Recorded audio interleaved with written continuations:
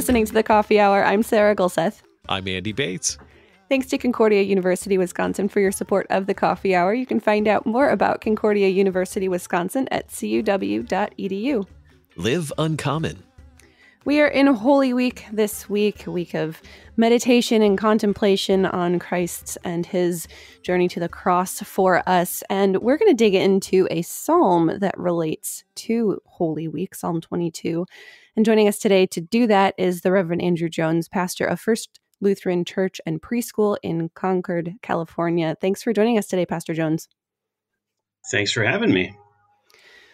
So, as we dig into Psalm 22 and how it relates to Holy Week, what is the place of Psalm 22 during this week? Where do we hear it? So, we actually hear it in two spots potentially. Uh, the, the first, most obvious spot is that it's one of the Psalms that's chosen by the lectionary and appointed by the lectionary for Good Friday, the other being Psalm 31. And so, if your Good Friday service uses the psalm of the day, you may very well hear Psalm 22. But some Good Friday services don't use the Psalms. They're more focused on the, the Passion narrative from John or one of the other Gospels. And so you might actually not hear it on Good Friday, but you may hear it also on Maundy, Thursday. Um, Psalm 22 is traditionally the psalm that is spoken as the altar is being stripped on Maundy, Thursday. So it could be either be spoken or chanted. Um, so you could hear it then as well. Uh, if your congregation doesn't do a stripping of the altar, though, you might not hear it then either. So it just depends on sort of what your congregation does.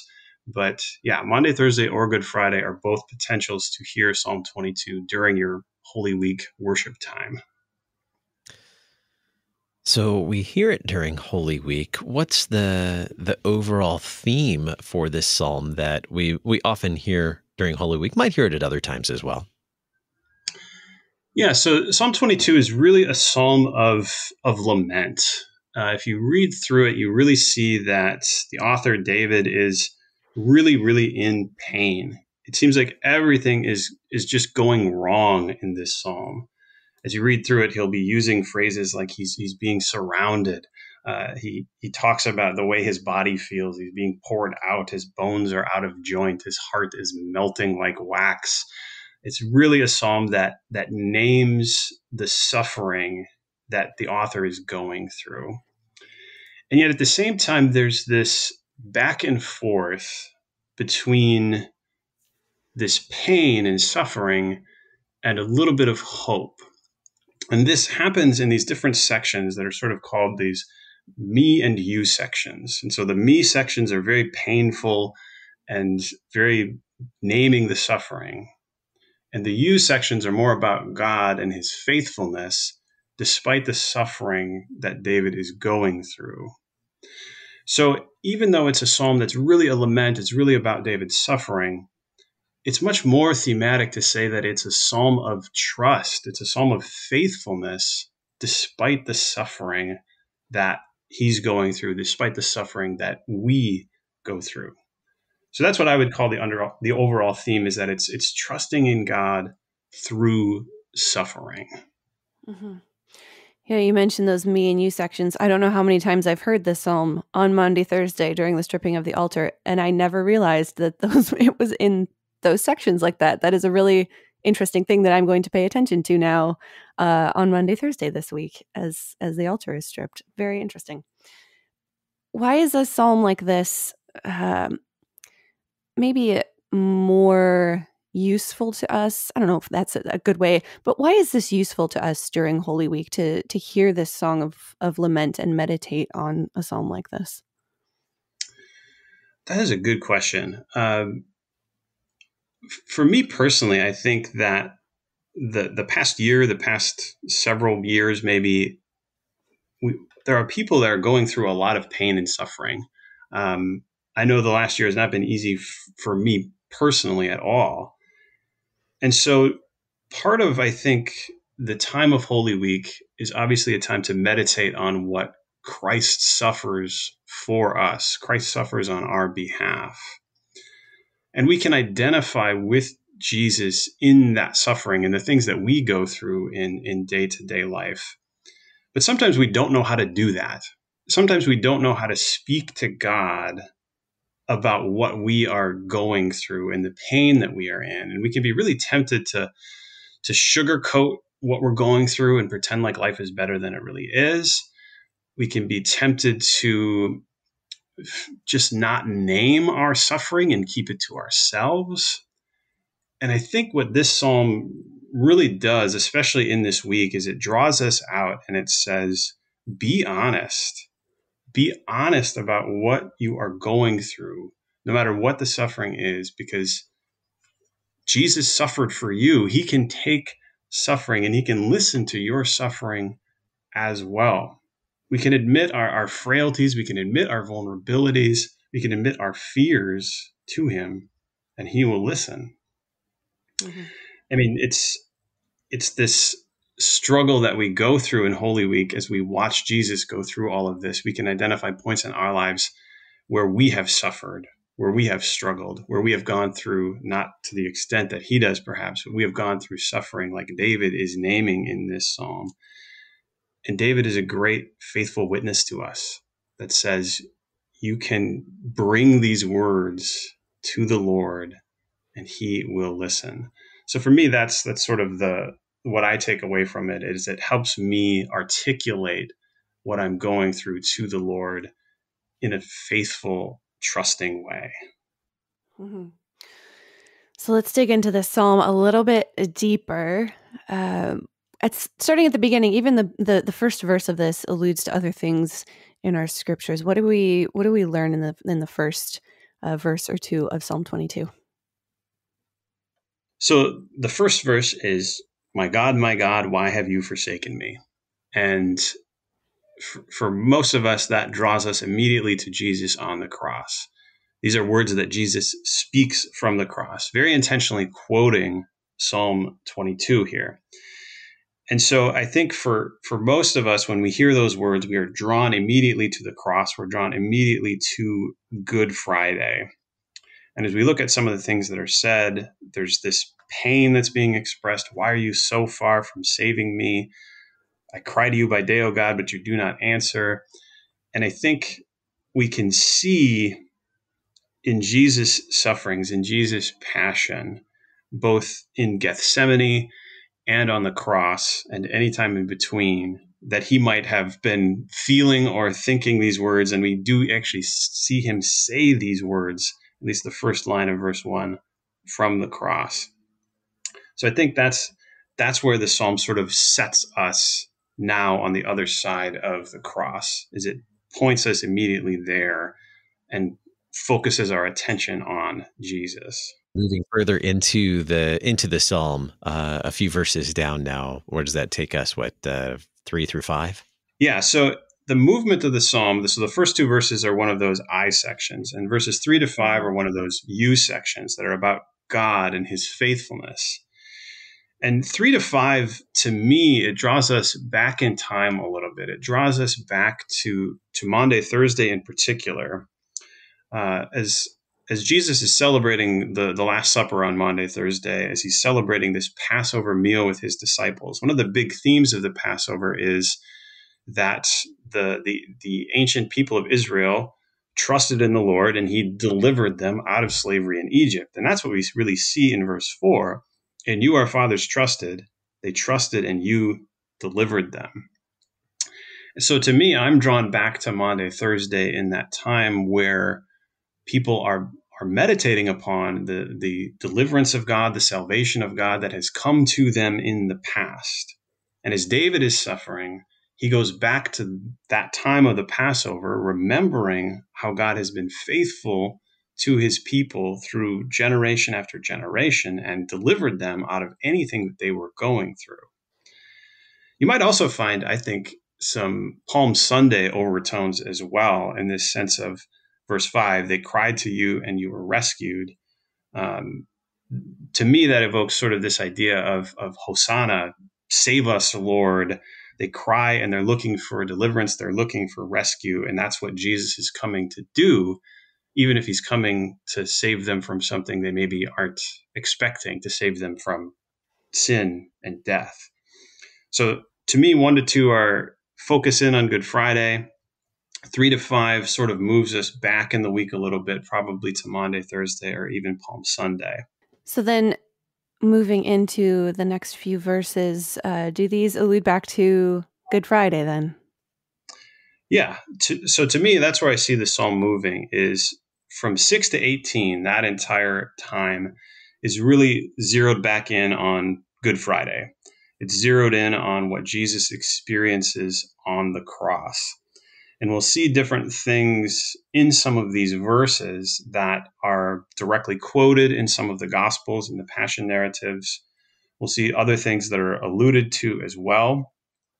But just the entire tone of 6 to 18 is much more suffering. Like that is the the bulk of the suffering of this psalm is mm-hmm. placed in 6 to 18 and even the sections that are meant to be a little more hopeful aren't quite as hopeful.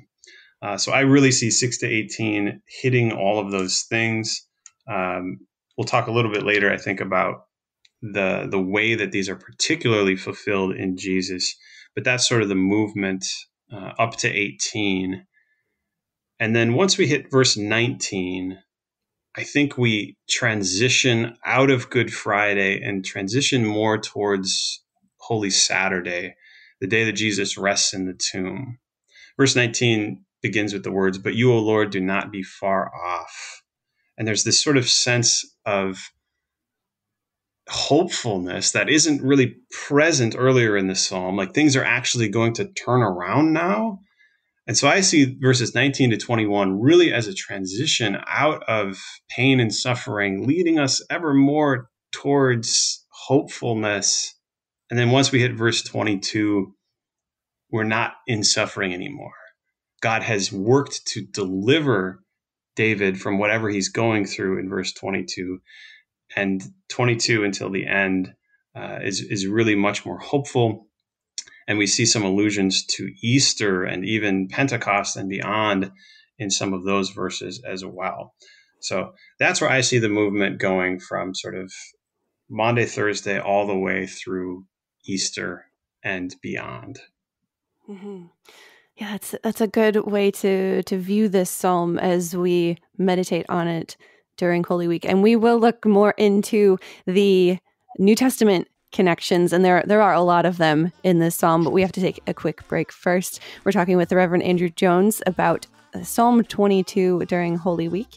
You're listening to the Coffee Hour. I'm Sarah Gulseth. I'm Andy Bates.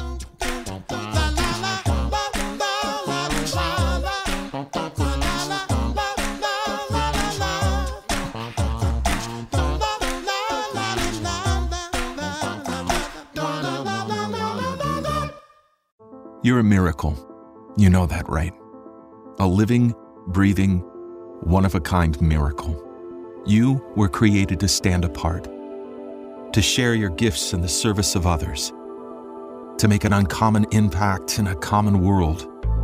And at Concordia University, it's our mission to help you do that, to live uncommon. To learn more about Concordia, go to cuw.edu you're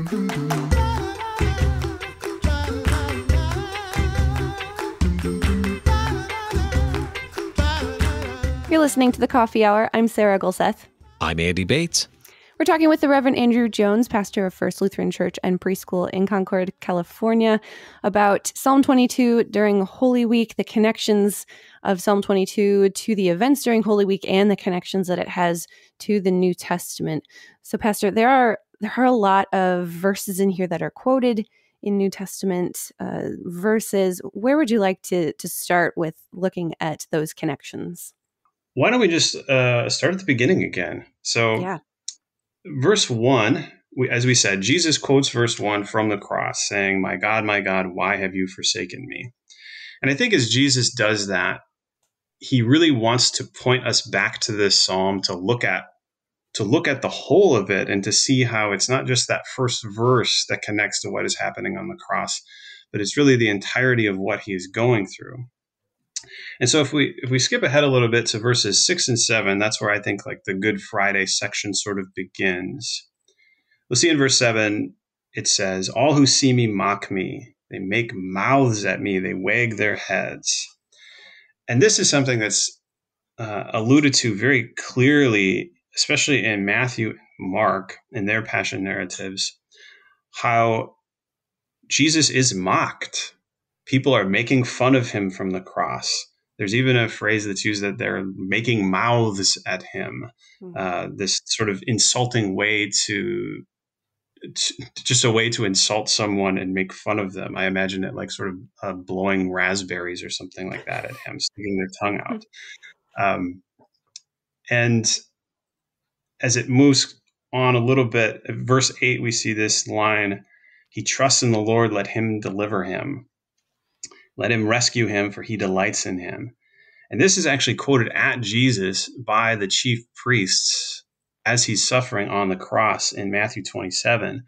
Um, it's sort of ironic. They're they're quoting this verse at him, not realizing what they're saying, not realizing that they're equating him with King David as they do this. Uh, it, it's just this horrifying thing that they're doing to him. And then they're insulting him on top of that with something that they don't even know how true it is that they're saying. So verses 6 to 8 really hit hard on Jesus on the cross. Moving ahead a little bit, uh, as we get to verse 16, the last line of verse 16 is, They have pierced my hands and feet that seems like a pretty clear connection to Jesus being crucified, as his hands and feet are both nailed to the cross. And then verse 18 in particular is one that uh, John, John's gospel calls out as being fulfilled by Jesus on the cross. Mm-hmm. They divide my garments among them, and for my clothing they cast lots. So John John calls this a fulfillment of scripture in John 19, 24, saying that this is what happened to Jesus to fulfill the scriptures. So all of these things hit these Good Friday fulfillments, which is part of the reason why it's it's a psalm that we tend to read on Good Friday and focus on on Good Friday because it really hits home those things. Mm-hmm. It's sort of the latter part of the psalm though that doesn't get as much attention.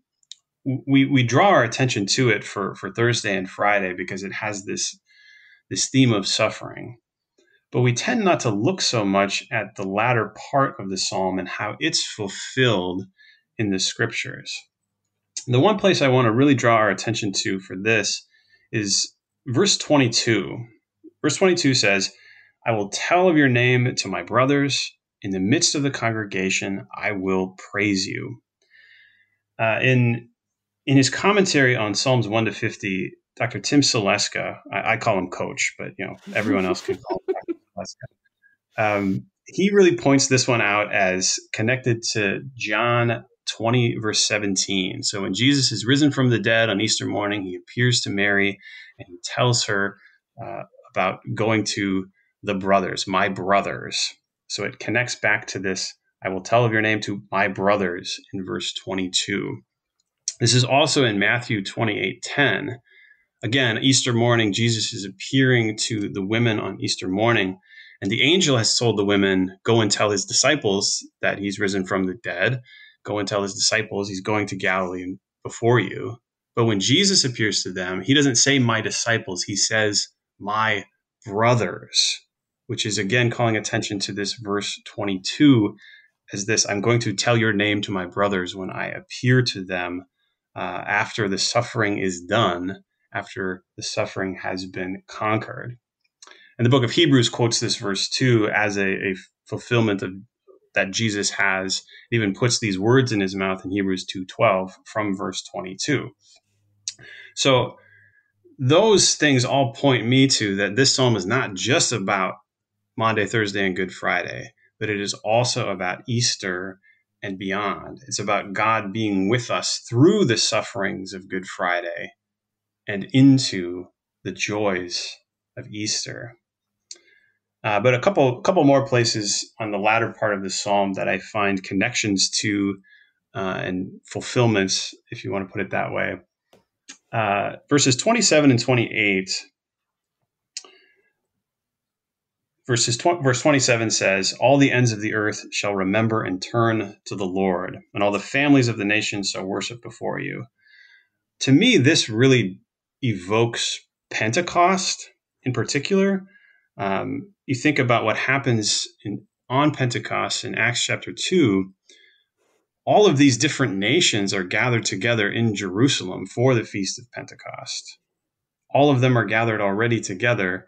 And before this, when Jesus is about to ascend into the heavens in Acts chapter 1, he tells his disciples, You will be my witnesses to Jerusalem and Judea and Samaria and to the ends of the earth.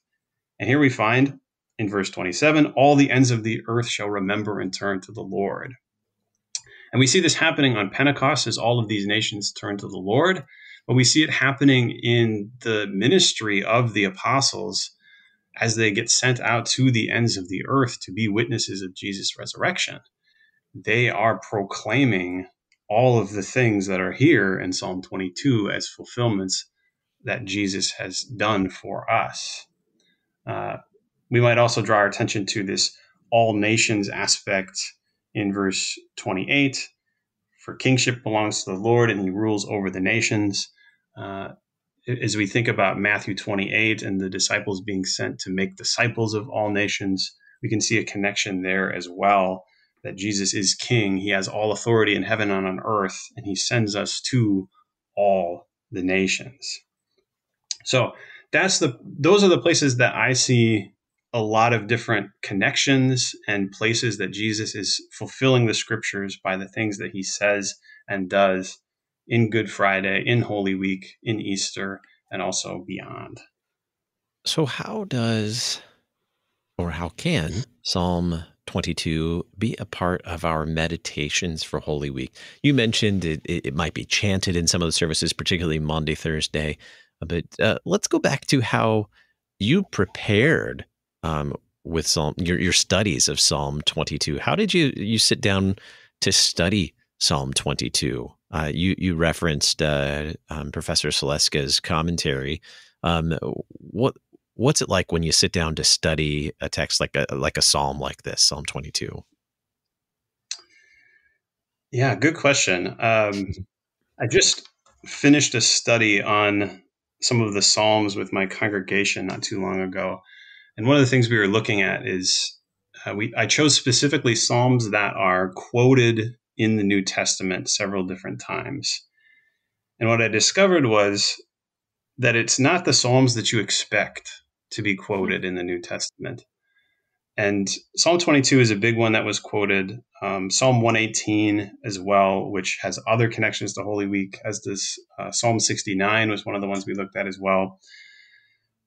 But as you read through the Psalms, no matter what they are, you, you'll find so many of the Psalms have this progression that's so similar to Psalm 22 that starts out in this place of suffering, that starts out in this place of asking God, why are you doing this to me?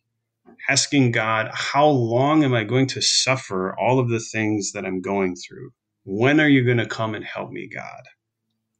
And yet, they all also turn somewhere in the middle, somewhere toward the end, toward this faithfulness that says, I, I, was honest with you, God. I told you all of the stuff I'm going through and how hard it is, but I'm still going to trust in you. I'm still going to trust that you are going to deliver me out of this, even if I don't see how that is going to happen.